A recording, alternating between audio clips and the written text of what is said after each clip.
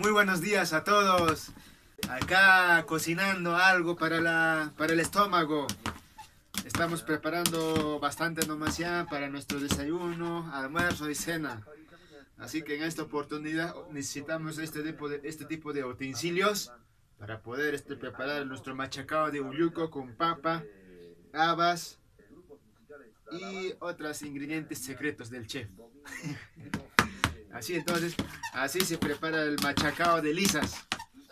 Un gusto de un gusto de saludarlos, saludarlos a, todo, a todos los que nos están mirando. Hasta la próxima, que tengan un hermoso día. Chao, chao.